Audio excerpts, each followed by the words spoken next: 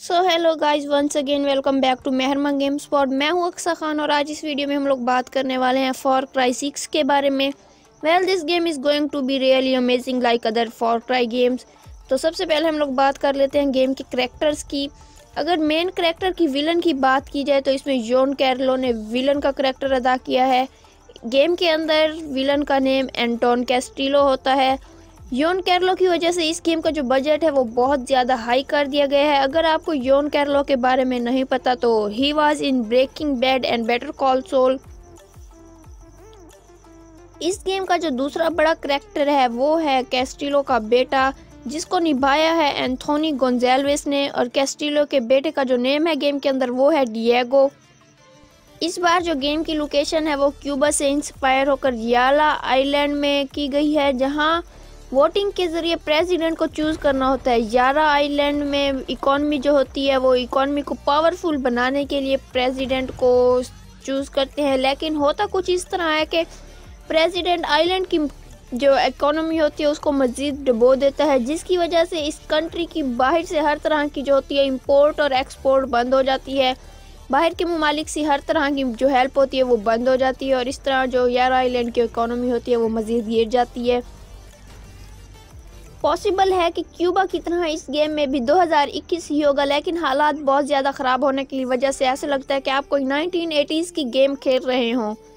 यहाँ पर आपको ना ही कोई मॉडर्न कार्स देखने को मिलती है, ना ही कोई मॉडर्न वेपन्स और ना ही कोई मॉडर्न मशीनरी यहाँ जोन कैरलो का एक करेक्टर होता है एंटोन एस्टिलो जो आइलैंड का प्रेसिडेंट होता है, जिसके मोटिव्स ये होते हैं कि वो दोबारा इस कंट्री को पावर में ले आए और हालात बेहतर हो जाएँ।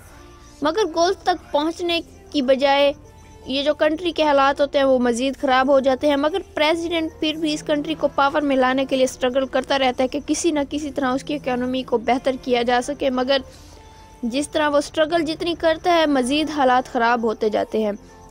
अगर देखा जाए तो एंटोन कैस्टिलो की सोच गलत नहीं है। वो कंट्री की अपराइजिंग देखना चाहता है, मगर हालात ही कुछ इस तरह होते हैं कि इकोनॉमी बढ़ने की बजाय गिरना शुरू हो जाती है।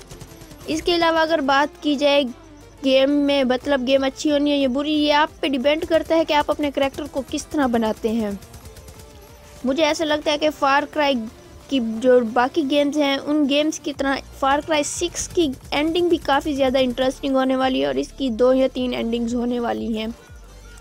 अब बात करते हैं गेम के उस करेक्टर की जिसके साथ हमने प्ले करना होता है।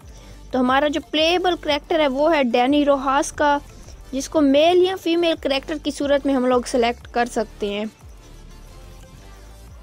पिछली तमाम गेम्स की तरह डैनी रोहास भी पहले आर्मी में होता है, मगर बाद में वो फिर मिलिट्री स्कूल से भाग आता है और मिलिट्री स्कूल से भागने के बाद वो गोरीला आर्मी का हिस्सा बन जाता है।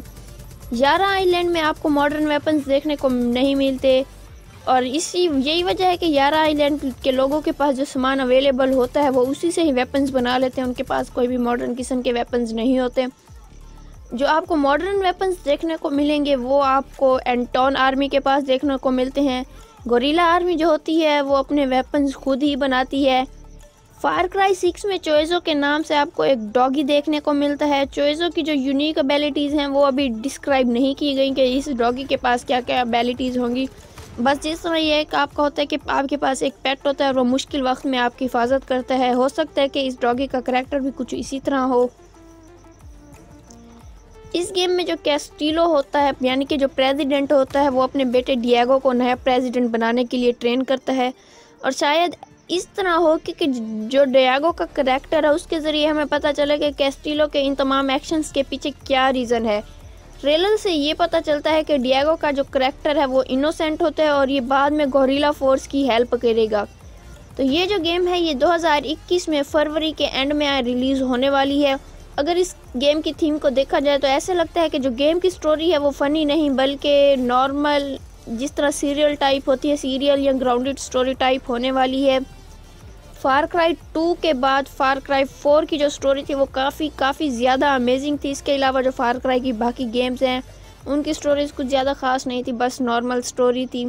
तो ये जो फार क्राई सिक्स है, ये फरवरी के एंड में रिलीज़ होनी है। अब देखना ये कि क्या वाकई ये फरवरी के एंड में रिलीज़ होने वाली है। तो जब ये गेम रिलीज़ होगी तो फिर पता चलेगा कि इसकी स्टोरी किस तरह होने वाली है।